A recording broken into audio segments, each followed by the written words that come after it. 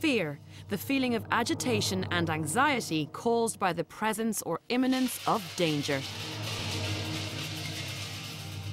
But it does have a critical purpose to save our lives, and I'm going to show you how. Tell you what, Dallas wouldn't do this. Today, I've agreed to get up close and personal with a snake, all in the name of science. I must be bonkers. First, I'm being kitted out with sensors on my body to measure my blood pressure, my heart rate, and my breathing. And here comes the moment of truth. Oh, lordy lord, the things you do for television. Meet Ra, a 10 foot long Burmese python weighing in at 15 kilos. Unbelievable. They don't attack people but when, Did when you you're say they they're were- nervous. I'm trying my best to control my fear of snakes, but immediately my breathing gets faster and my heart rate and blood pressure shoot right up. My heart is actually beating through my chest. It's unbelievable. And I'm also starting to sweat. I'm ready to get him off me now soon. But it's these physical symptoms that could actually save my life. Completely freaky. Well, what you just witnessed there is my body's slightly embarrassing response to fear, and it's called a fight or flight response. When we come across something dangerous or frightening, it kicks into action and adrenaline is released into our system. And that prepares us to either run for our lives or fight for survival. So fear can be life saving, but what if you're not aware of the danger? Now, seeing as Ra the python was literally plonked on me, there was little chance of my missing him. But in the wild, it can be a lot trickier to spot a snake because they're usually extremely well camouflaged. There's not much point in this great fight and flight response if I've trodden on a snake by mistake. What I really need is an advanced warning system to get my body in gear quickly before it's too late.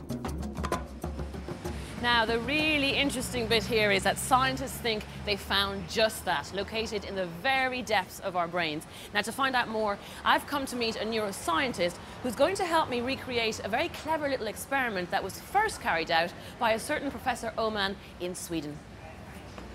The experiment is simple. I lie in an MRI scanner and they show me some pictures. All right, we're going to show you various pictures on the screen, so your job is just to lie still and watch them while the scanner measures your brain activity, okay? Okay.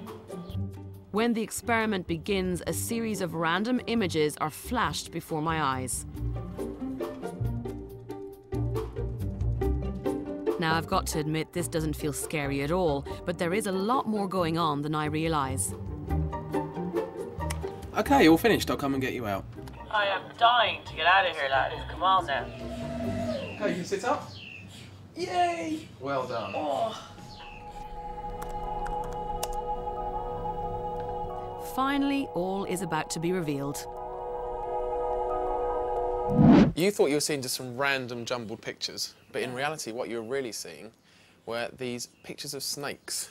Oh, wow, okay. Yeah, but we showed them so quickly that your conscious brain couldn't work out what you were seeing.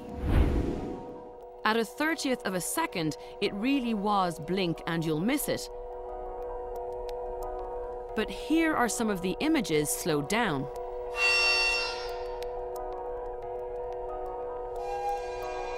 Whoa, I definitely didn't see any of those scary looking fellas. Interestingly, your brain did.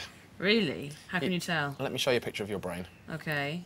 These parts of the brain here are the amygdala. That's the fear centre of the brain, and it controls the fight or flight response. There's one on the left, one on the right, and they're kind of sort of in the middle of your brain. Okay, so whenever anything scary happens to you, that fires up. Yeah, so this kind of controls your fear response. And these red dots show that your amygdala was activated when you saw snakes. Okay, but Jeff, I didn't see those snakes, so how come it's firing up? Well, if we look at your structural scan, Yeah. We've got two routes to vision. We've got a conscious route um, where information enters the eyes, gets passed along the optic nerve, and ends up at the very back of the brain, the primary visual cortex. And if it's something scary, then it'll go to the amygdala, right? Exactly. Okay. Um, and that's a very slow route, but it's, it's the conscious world that we live in. It's what we can see. But there's another route. There's an unconscious route. and this is really, really fast. So information comes in the eye, it's passed along the optic nerve to this part of the brain here, called the superior colliculus. And this is an evolutionary ancient part of the brain, it's really, really old. But the good thing is it can pass information directly through to the amygdala, and this route is purely unconscious, but very fast. This lightning quick unconscious response to snakes probably evolved around 65 million years ago, when they were one of our ancestors' most dangerous predators. And amazingly, we may still be using it in today's world, helping us to react to and avoid danger before we see it. If I wait for consciousness to catch up, it might just be too late.